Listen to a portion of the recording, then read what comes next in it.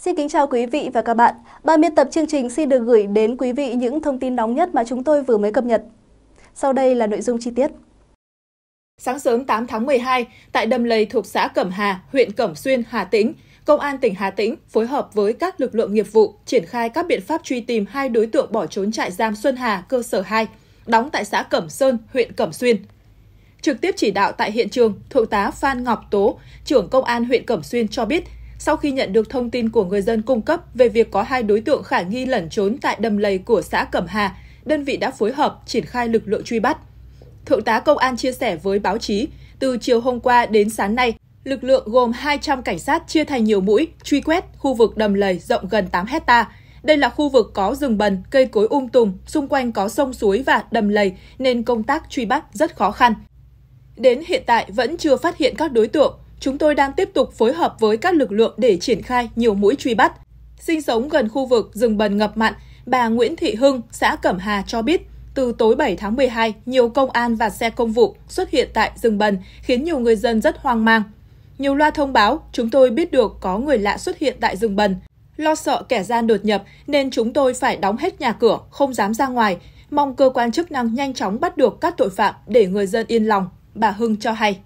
Theo ghi nhận, hàng trăm cán bộ chiến sĩ thuộc lực lượng công an Hà Tĩnh và Cục Cảnh sát Quản lý trại giam cơ sở giáo dục bắt buộc, trưởng giáo dưỡng Bộ Công an đã áp sát khu vực rừng bần thuộc xã Cẩm Hà. Khu vực đầm lầy này rộng gần 8 hecta, trong đó bao gồm rừng bần ngập mặn rộng khoảng 3 hecta. Cây bần cao 3 đến 5 mét, lá um tùm nên rất khó phát hiện tội phạm lẩn trốn. Trước đó, Đại tá Nguyễn Hồng Phong, Giám đốc Công an tỉnh Hà Tĩnh, cho biết ngay khi nhận được thông tin hai phạm nhân trốn khỏi nơi giam giữ tại phân trại số 2 của trại giam Xuân Hà, Bộ Công an, Công an tỉnh đã phối hợp Cục Cảnh sát Quản lý trại giam, cơ sở giáo dục bắt buộc, trưởng giáo dưỡng Bộ Công an truy bắt. Công an tỉnh Hà Tĩnh đã huy động hơn 2.000 cán bộ chiến sĩ, gồm các đơn vị nghiệp vụ, lực lượng cảnh sát hình sự, cảnh sát giao thông, cảnh sát điều tra, công an các địa phương và lực lượng công an xã triển khai các biện pháp nghiệp vụ để truy tìm. Tại những tuyến đường trọng yếu, lực lượng công an cũng bố trí quân số chốt chặn, kiểm tra tất cả phương tiện lưu thông qua địa bàn các huyện Cẩm Xuyên, Kỳ Anh, thành phố Hà Tĩnh, Thạch Hà, Can Lộc và vùng lân cận để đảm bảo các đối tượng không trốn ra khỏi địa bàn. Tuy vậy, theo Đại tá Phong, việc truy bắt hai phạm nhân gặp không ít khó khăn, nhất là vào thời điểm ban đêm. Địa bàn Hà Tĩnh có đường biên giới dài, lưu lượng xe lưu thông qua quốc lộ 1 khá lớn. Hơn nữa hai phạm nhân là người địa phương thông thuộc địa bàn, nên quá trình truy bắt rất vất vả. Liên quan đến hai đối tượng đang bị truy nã, theo hồ sơ, ngày 22 tháng 5 năm 2017, Nguyễn Đắc Hoàng mang theo 110 triệu đồng sang Trung Quốc mua ma túy bỏ vào ba hộp sữa, mang về nước theo đường tiểu ngạch. Ngày 29 tháng 5 năm 2017, Hoàng giao ma túy cho một người khác thì bị cảnh sát bắt, thu giữ hơn 327 gam methamphetamine. Hoàng bị Tòa án Nhân dân tỉnh Nghệ An đưa ra xét xử tội mua bán trái phép chất ma túy với hình phạt 20 năm tù.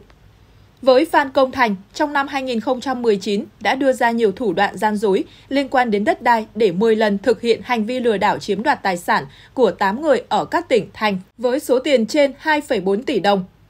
Trước khi xét xử, Thành đã bồi thường hơn 1 tỷ đồng. Với tội danh lừa đảo chiếm đoạt tài sản, Thành bị Tòa án Nhân dân tỉnh Hà Tĩnh và Tòa án Nhân dân thành phố Phổ Yên Thái Nguyên tuyên phạt tổng 19 năm tù. Khi trốn trại, Hoàng đã chấp hành án được 6 năm 6 tháng, còn Thành chấp hành án được 2 năm 7 tháng. Đang chấp hành án tại trại giam Xuân Hà cơ sở 2 đóng tại xã Cẩm Sơn, huyện Cẩm Xuyên, khoảng 15 giờ chiều 6 tháng 12, nhân lúc sơ hở, cả hai đã bỏ trốn. Ngày 30 tháng 11, Cơ quan An ninh Điều tra Công an tỉnh Đắk Lắc cho biết vừa ra quyết định truy nã đặc biệt 6 đối tượng liên quan đến vụ khủng bố nổ súng tấn công trụ sở Ủy ban Nhân dân hai xã Ea Tiêu và Ea Cờ Tu, huyện Cư Cụ In vào dạng sáng ngày 11 tháng 6 năm 2023, khiến nhiều cán bộ, chiến sĩ công an hy sinh. Cụ thể, 6 đối tượng bị truy nã đặc biệt gồm Y Quỳnh Bdap, sinh năm 1992, quê quán, huyện Krông Anna, Y Chanh Bia, sinh năm 1984, Y Bút Eban, sinh năm 1985, Inien Eya, sinh năm 1978, cùng chú xã Tâm Thắng, huyện Cư Rút, tỉnh Đắk Nông. Y Trích Nie, sinh năm 1968, chú xã Ea Dông, huyện Crong Park và Imut Milo, sinh năm 1960, chú thị trấn Pâng Drang, huyện Crong Púc. Cả 6 đối tượng trên cùng bị truy tố về tội khủng bố, được quy định tại Điều 299 Bộ Luật Hình sự. Đây là các đối tượng đang lẩn trốn, không có mặt tại địa phương. Các đối tượng này đã thường xuyên đưa ra các thông tin bịa đặt, vu khống chính quyền nhà nước Việt Nam, đàn áp tự do tôn giáo, cướp đất đai, nhằm mục đích kích động một số người đồng bào dân tộc thiểu số nhẹ dạ, cả tin tham gia các tổ chức của chúng để thực hiện các hoạt động chống phá. Liên quan vụ khủng bố vào sáng 11 tháng 6, trước đó, Cơ quan An ninh điều tra Công an tỉnh Đắk Lắk cũng đã khởi tố vụ án, khởi tố hàng chục bị can về các tội khủng bố nhằm chống chính quyền nhân dân, không tố giác tội phạm, che giấu tội phạm. Cơ quan An ninh điều tra ra quyết định truy nã, bất kỳ người nào cũng có quyền bắt và giải ngay các đối tượng nói trên đến cơ quan công an, viện kiểm sát hoặc ủy ban nhân dân nơi gần nhất. Sau khi bắt được đối tượng truy nã, cần phải nhanh chóng báo ngay cho cơ quan an ninh điều tra, công an tỉnh Đắk Lắk theo địa chỉ số 58 Nguyễn Tất Thành, thành phố Buôn Ma Thuột, tỉnh Đắk Lắk, số điện thoại 0694 389 133. Ngày 4 tháng 12, Cơ quan Cảnh sát điều tra Công an tỉnh Quảng Ninh cho biết đã ra quyết định khởi tố vụ án, khởi tố bị can đối với Bùi Huy Mạnh, sinh năm 1979, trú tại Phong Hải, Quảng Yên, về tội giết người. Nguyễn Văn Mạnh, sinh năm 1988, trú tại thành phố Hạ Long. Dương Văn Mạnh, sinh năm 1998. Dương Thế Anh, sinh năm 2000. Dương Văn Ngọc, sinh năm 2000, cùng trú tại thị xã Quảng Yên về tội danh gây dối trật tự công cộng. Đồng thời, Cơ quan Cảnh sát điều tra Công an tỉnh Quảng Ninh phối hợp với Viện Kiểm sát Nhân dân cung cấp thi hành lệnh bắt bị can để tạm giam đối với Bùi Huy Mạnh, Nguyễn Văn Mạnh và Dương Thế Anh. Trước đó, dạng sáng 2 tháng 5, trên tuyến đường thuộc phường Bãi Cháy, Bùi Bảo Ngọc sinh năm 2007, trú tại phường Hùng Thắng, thành phố Hạ Long và nhóm bạn là học sinh tại thành phố Hạ Long và huyện Thủy Nguyên, thành phố Hải Phòng, tìm đối tượng đã đánh người trong nhóm để trả thù. Đến khoảng 3 giờ 30 cùng ngày, nhóm Ngọc thấy Bùi Đức Việt sinh năm 2003, trú tại phường Phong Hải, thị xã Quảng Yên, đi xe máy chở bạn tại ngã tư vòng xuyến 368 phường Bãi Cháy, nên đã sử dụng cây sắt đuổi theo đánh. Việt may mắn trốn thoát và gọi điện về cho Bùi Huy Mạnh là bố đẻ để thông báo.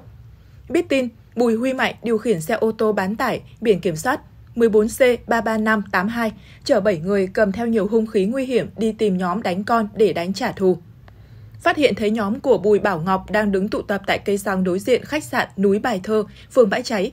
Bùi Huy Mạnh lái ô tô truy đuổi. Trong quá trình truy đuổi, Mạnh cho xe ô tô đâm thẳng vào đuôi xe máy do Bùi Bảo Ngọc lái, chở theo Đỗ Ngọc Minh và Trần Hoàng Ninh làm xe của Ngọc loạn trọng. Tiếp đó, Mạnh vượt lên, ép xe của Ngọc làm xe máy đâm vào xe ô tô con và xe tải đang đỗ bên phải đường. Sau khi ép xe gây tai nạn, thấy cả nhóm ba người nằm bất tỉnh, Mạnh cùng đồng bọn lên xe bỏ trốn về Phong Hải, thị xã Quảng Yên. Sau vụ va chạm, Bùi Bảo Ngọc bị chết, Trần Hoàn Ninh thương tích 88% và Đỗ Ngọc Minh thương tích 10%. Cơ quan Cảnh sát điều tra Công an tỉnh Quảng Ninh đang điều tra làm rõ vụ việc.